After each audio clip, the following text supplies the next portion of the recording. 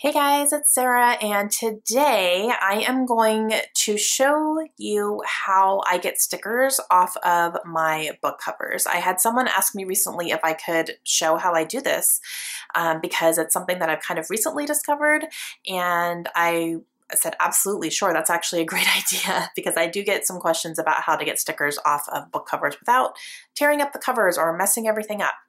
So I have three books here that I'm going to um, definitely take some stickers off of and then the one in the middle here I have just some gross stuff that I want to try to see if this will work. That'll be an experiment that I'll do at the end. But the stickers for sure I know are going to work. Um, so I have my books, I have some paper towels. I just use regular just paper towels and this is what I use to get everything off. So this is called Goo Gone. It is something that I got at Hobby Lobby. It was $6.99. I got it up by the registers at Hobby Lobby. Um, you may be able to get this other places as well. I know you can get it on Amazon, so I'll leave an Amazon link down below if anything, just because, you know, that's something you can get online. Um, I believe that Walmart has this as well. I just don't know what area of the store it would be in. I would guess maybe craft supplies or something like that. Um, if anyone, if, if any of you guys know where you could get this in Walmart, just leave it down below as well for people. I just haven't personally looked for it in Walmart. I just got it at Hobby Lobby because I was there and I knew they had it. So um, definitely this is what I have been using to get stickers off and it works like a charm. It is just, it's perfect. So um, let's go ahead and get some of these stickers off. We'll start at uh, the bottom here. I'm gonna do this one. Now this is a hardcover. So it's got the dust jacket and everything.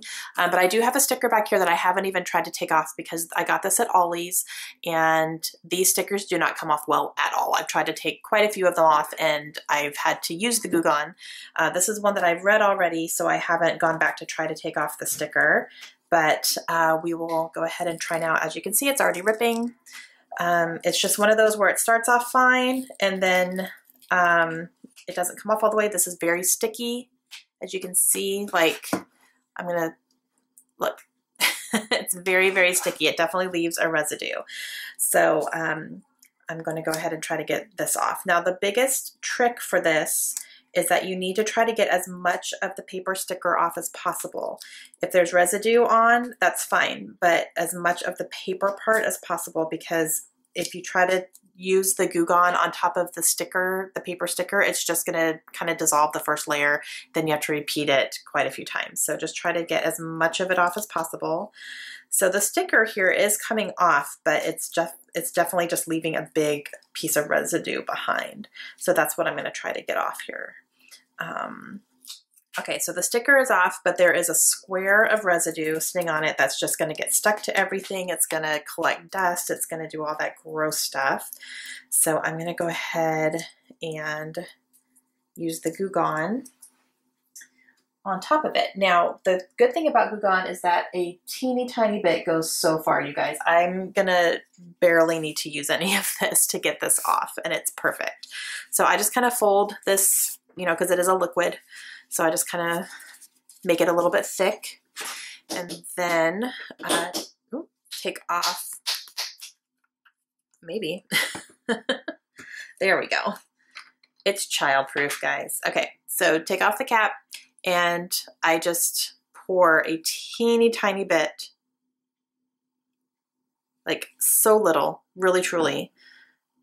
And then I'm gonna take this and just rub it over the area. I don't have to even apply too much pressure, just rub it. And then um, I kind of fold it again and just have a clean area here and just wipe off the rest of it because it does, it feels a little bit oily. Um, and then just wipe it all off. And it's perfect, you guys. Smooth. Nothing is sticking. Look, it's just, it's absolutely perfect. It's like there was no sticker there. I'm rubbing, nothing's sticking, everything's great. It's perfection. so um, yeah, completely gone. Like there was no sticker there at all in the first place. So that is just wonderful. So this one is good to go. Okay, let's try a paperback now. Um, I have this one that I got at Goodwill and it's got a sticker on here. It looks like someone had already tried to take it off and wasn't able to. So uh, let's see what we can do with this one. Uh, this looks like it might have been a Walmart sticker. Those are awful too to try to take off of the uh, covers and see, look at that. It's just going to come off in layers like that. Okay, so I will try to get as much of this off again as possible. This one's probably going to take a little bit longer because it's just going to come off in little pieces. Um, it's a little easier to do if you have fingernails like me, but uh, you know, if, if my fingernails are shorter or whatever, it definitely takes longer. Um, I haven't tried any other tools to take off stickers at all, especially this way. You know, I'm sitting here just digging with my nails, which isn't the best thing for my nails, but um, if you guys have any tips on that, leave down below. If you guys use any like household tools or anything to get stickers off like this, uh, let us know down below too, and maybe someone can pick up a tip or trick from you guys as well. Um, just anything that could get just you know, trying to get all this stuff off because you do want to, again, you know, try to get as much of the paper off as possible before you use the Goo Gone. Uh, otherwise, you have to put it on like two or three times and all that. So I'm going to go ahead and get this off. So um, you know, the Ollie stickers are really bad. The Walmart stickers can be pretty bad sometimes. Um, what kind of stickers do you guys, have you guys encountered like from certain stores? Like you have used bookstores that put really bad stickers on? Um, have you ever had any like big issues trying to get stickers off of your book covers that just won't come off very well? And I always wonder, especially if it's a bookstore, like why would you deliberately put a sticker on there that's going to potentially ruin or rip the cover? That makes no sense to me. Um, maybe they're just going for the cheaper ones, which are the ones that are not gonna, you know, come off very well or whatever. Maybe they're just not even fully aware of it. I don't know. Okay, so I got most of the um, sticker, paper sticker off. So now I'm going to put, again, just a teeny tiny amount on my paper towel here. Teeny, teeny, tiny. And then I'm going to just rub over it.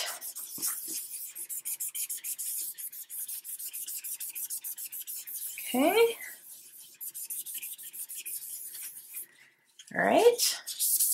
And then kind of wipe off the excess. And this is really just the more you wipe it, the more away it goes, if that makes sense. You just kind of wipe it off. And it's perfect, you guys. Like, really, truly. I can see um, the indentation of where it was, and I could see that I was kind of digging with my nails. That's just because of the texture of the book, but it's not sticky at all. No more sticking, no more sticker, like gone. See, won't stick onto anything. It's perfect. So that's a paperback. Um, the paperbacks are a little bit, you know, like I said, it's just uh, the, depending on the thickness of the um, cover and all that stuff, but it's, I've never had an issue. Okay, so this one's a little bit different. This one doesn't have a sticker on it, but it, okay. I got this at a thrift store and it's got some kind of something on it. I don't know what it is, but that's not supposed to be there. It's on the back as well. I don't know what it is. Um, it just seems like someone didn't take very good care of it. So I'm going to try to get this stuff off. And I, this is an experiment. I don't know if it's going to work or not. Um,